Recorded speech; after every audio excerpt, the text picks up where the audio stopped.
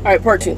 So back to the I seventy situation. So yeah, it took me quite a while to get through I seventy, and then when I got out of Denver, I had, like I said, I haven't driven this route in a very long time, and I happened to forget that you still have more mountains on the Utah side. So I spent another twenty five to thirty five miles an hour climbing in Utah. And I'm just out of this, and I should be hitting 15 here pretty soon. So I'm still stuck on 70. Um, but I'm real close to 15, so I'll be in. I'll be on 15 tomorrow. Um, I got a fuel off of 15, and I was trying to make that today. And it was funny because Bill said you ain't gonna make that today. He actually had me. I forgot where he told me I was gonna get to, but he said you you are not going to make that today, especially when I told him how heavy I was, and I wasn't thinking about it because again I haven't driven this in so freaking long. But I don't think I did bad. Uh, 475 miles say 475 yeah 475 and 10 hours and change uh, which isn't bad for as heavy as I am because like I said I'm over 40,000 pounds. Um, but I-70 always call ahead. I don't chain. So that's the other part about this. I I avoid chaining like the plague.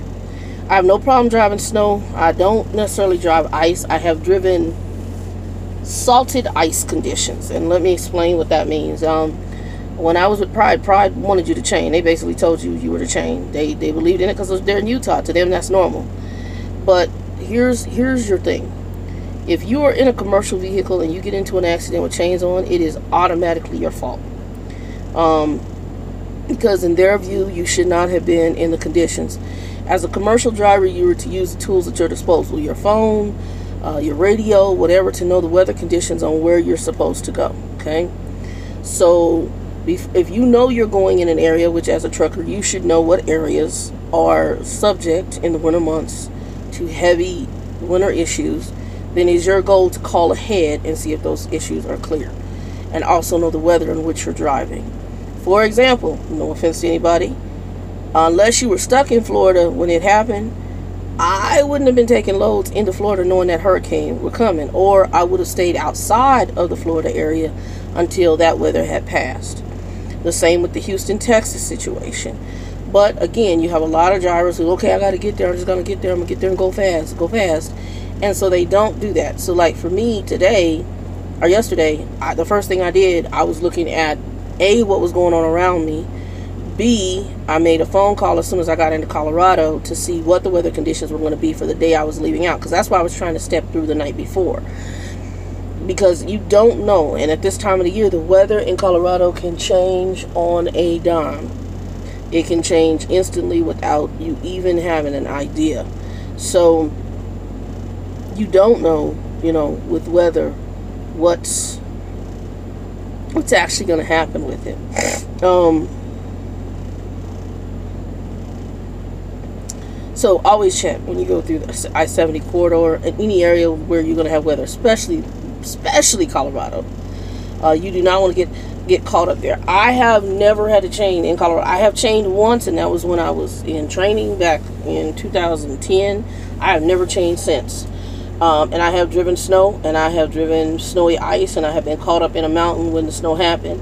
And so, it, it again, those things when when you run into it one time, it's, it's all you need to do.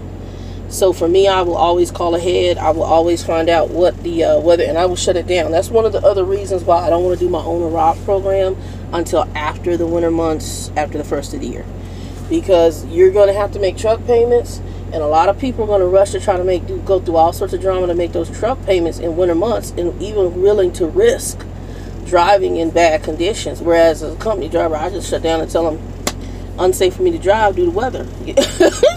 the load is going to be behind due to weather conditions. And they can't really you can't do anything. Whereas somebody who's trying to make a truck payment the weather conditions are kind of irrelevant. That payment is still going to be due.